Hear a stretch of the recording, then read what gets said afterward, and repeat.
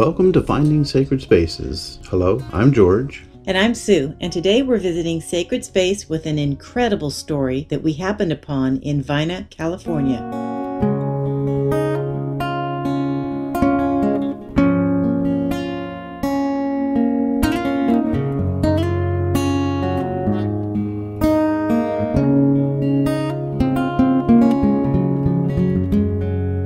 We are at the Abbey of Our Lady of New Clairvaux, located just off Highway 99 in the small town of Vina in Northern California. Adjacent to the monastery is the winery that helps support the abbey.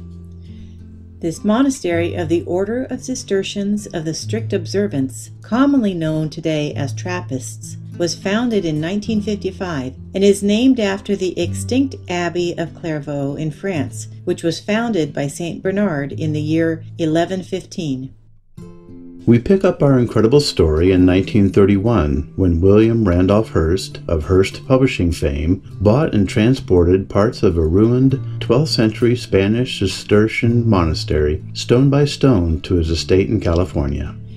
The Depression at the time eliminates his plans to reconstruct the monastery, and he barters the stones to the city of San Francisco in 1941 to be reconstructed as a museum. World War II and lack of funds, however, again prevents the reconstruction plans.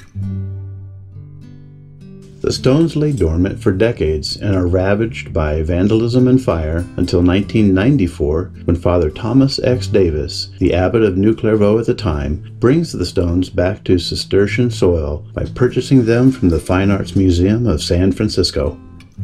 The groundbreaking for the reconstruction of the chapter house was held on May 1, 2016, and dedicated two years later on July 2nd, the anniversary of this monastery's foundation. Upon closer inspection of the interior walls, one can plainly see the medieval stonemasons' signatures on these ancient stones.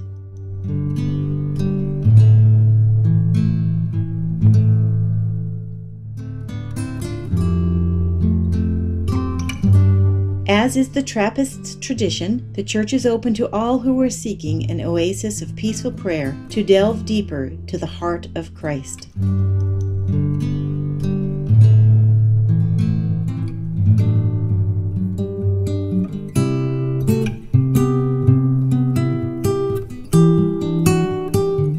As you make your way down a pathway behind the winery, you will pass the retreat guest housing and arrive at the Welcome Center and bookstore on the left, and St. Cecilia's Chapel just beyond the fountain. The bookstore offers many resources for spiritual growth as well as products made from other Trappist monasteries. The St. Cecilia Chapel houses a tabernacle where our Blessed Sacrament is present for all.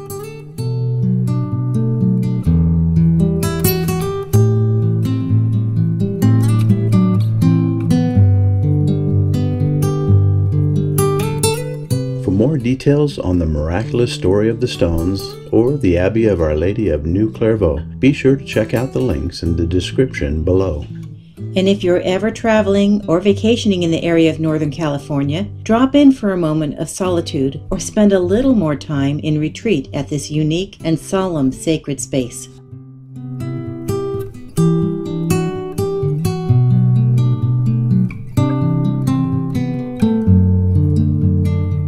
You have been to this shrine already, please let us know about your visit in the comments. We'd love to hear and share your experiences with our Finding Sacred Spaces community.